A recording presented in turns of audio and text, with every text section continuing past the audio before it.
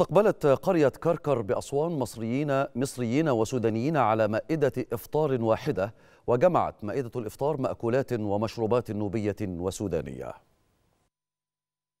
مصريون وسودانيون على مائدة إفطار واحدة. هذا هو الوضع في قرية كركر بأسوان التي استقبلت العشرات على موائدها حيث شارك المواطنون في إعداد الإفطار وتناوله معه الاستعدادات بدأت بفرش الحصائر في الساحة المعدة لذلك حيث يتجمع الكبار والشباب والأطفال بعد صلاة العصر استعدادا لتناول الإفطار. إحنا هنا في رمضان بنعمل فطار جماعي بنعزم فيه القرى المجاورة وأهالي كتير بتيجي من أسوان برضو ضيوف بيجوا من أسوان.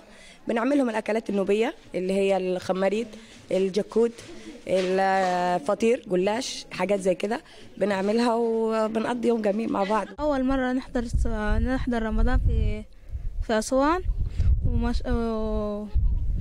وحوالين يعني الجيران النوبيين وبنتلم بنفطر سوا وبعد نفطر بنصلي سوا كلنا. بعض سيدات القرية يتجمعن داخل أحد البيوت لإعداد الطعام والمشروبات حيث تغلب على المائدة المأكولات النوبية وأشهرها الكابد والخمريت والجاكود والعصيدة بالإضافة لمشروبات الأبريه والعراديب الكركديه. ولا تخلو المائدة من بعض المأكولات والمشروبات السودانية ومن أشهرها الكسرة والنعيمية. في كركر هنا طبعا في ترابط أسري بين الناس مع بعضهم طبعا الناس كلها بتيجي وبتشارك اللي بيجيب البلح اللي بيجيب الأبريق اللي بيجيب العصير الأولاد بيجهزوا للإفطار. بيجونا ناس من أسوان وبيجونا ناس مثلا شغالين في الشركات وفي ناس سودانيين طبعا كتار بيشاركوا معنا برضك هنا بنرحب بجميع الأخوان والسودانيين والمصريين وإحنا كلنا كدولة واحدة كأمة واحدة كيد واحد.